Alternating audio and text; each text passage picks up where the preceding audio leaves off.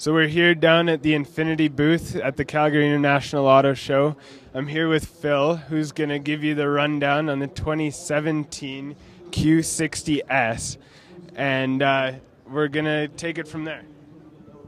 Perfect, thank you. Well, this is the 2017 Infiniti Q60 Sport, the Rouge Edition. Uh, what's nice about this vehicle, it's redesigned for 2017. Uh, came back. It's the successor to the G37 Coupe, which has been around for a while. It's a 3.0 twin turbo engine. They, they use the exact same motor in the GTR. It's a VR30 TT.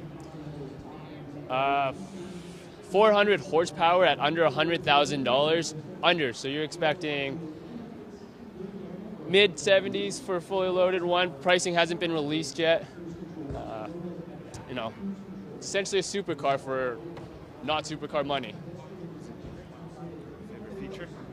Uh, favorite feature on this one is the engine. It's a 3.0 twin turbo, putting out 400 horsepower. 400 horsepower for an all-wheel drive vehicle that you can drive year-round is unbelievable. We're expecting to see this uh, later this summer. 360 cam, top and bottom view.